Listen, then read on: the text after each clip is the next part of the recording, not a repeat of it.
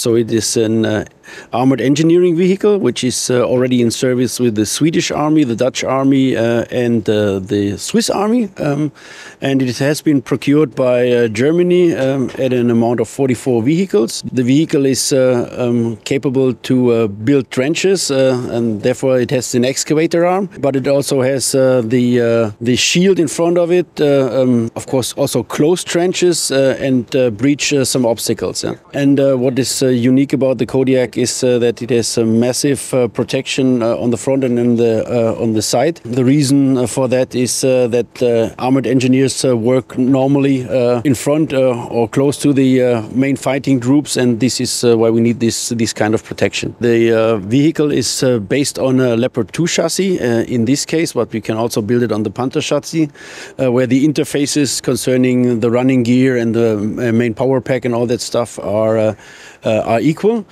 um, and uh, thus it is uh, capable to be used together with the Leopard 2 fleets and the Panther fleets where they are fielded. The Kodiak is used by operated by a two-man group up to three men uh, fit into the vehicle and we are working on a remote controlled system so uh, to keep uh, the people out of the vehicle when for example doing a, a trench breach or stuff like that